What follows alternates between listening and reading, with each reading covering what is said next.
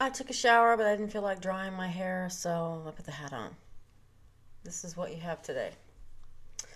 Uh, 20 years, 20 years from now. Um, all things considered, on uh, my pictures uh, that I did 20 years from now, you know, I look okay.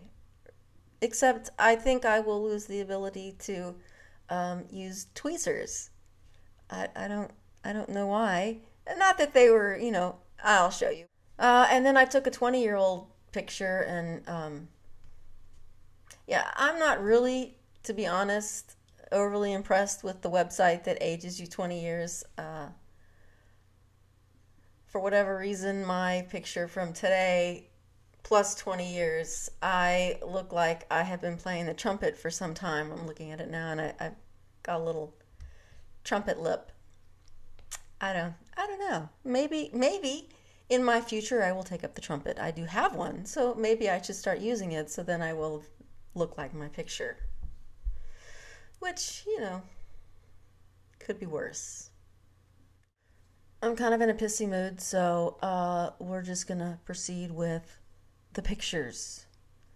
And there you have that.